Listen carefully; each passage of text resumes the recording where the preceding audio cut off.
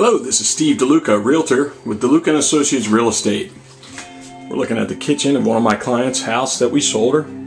They asked me to come back in, do some touch-up work, and look at some things. We caulked that line where the green tape is around the ceiling. The, tape the paint was okay, but the people did a, you know, kind of a tough, fast, quick job to get the house sold. It looks nice, but it was bothering my client. So we caulked this line up here, as you can see.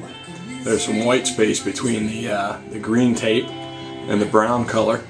So we caulked where we needed to caulk, taped it up real nice. As you can see, what we're going to do is we're going to bring the brown to that white line and get a clean, crisp line. So basically we're using the frog tape. The frog tape's a little more tacky, holds up to the wall a little tighter. Then we're going to do a lot of dry brush on this. We're going to do uh, a stroke out there in the middle somewhere and kind of feather it and then take it after the initial dip and then get that line done. This is Steve DeLuca, Realtor with DeLuca & Associates, showing you how to do some fine line work in the kitchen at a happy client's house.